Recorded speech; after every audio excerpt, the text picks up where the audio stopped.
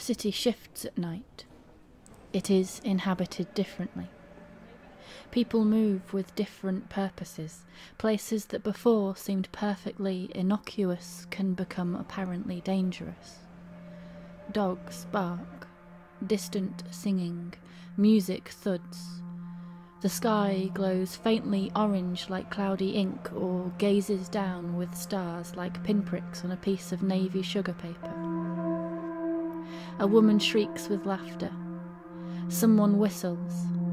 The scent on the air changes, and bats swim by in the twilight, always a faint surprise.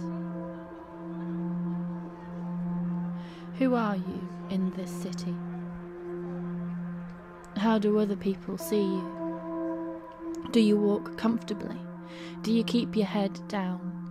Do you move across patches of light like oases in the nighttime streets? Do you smile faintly at the couple nervously holding hands, sneaking glances at each other's faces? Do you cross the road as a drunk man stumbles towards you? Thank you for standing with me here tonight.